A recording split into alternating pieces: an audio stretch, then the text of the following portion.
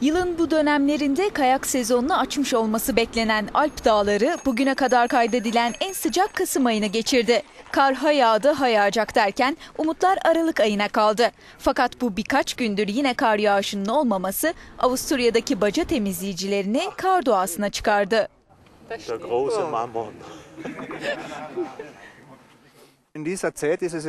Normalde bu zamanlarda buranın bembeyaz olması gerekirken görüyorsunuz tek bir kar bile yok.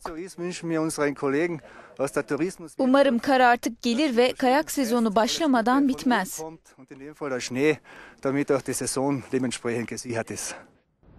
Avusturya'da baca temizleyicilerin iyi şans getirdiğine inanılıyor. Öte yandan Türkiye'de de Aralık ayında kar yağışı beklenmiyor.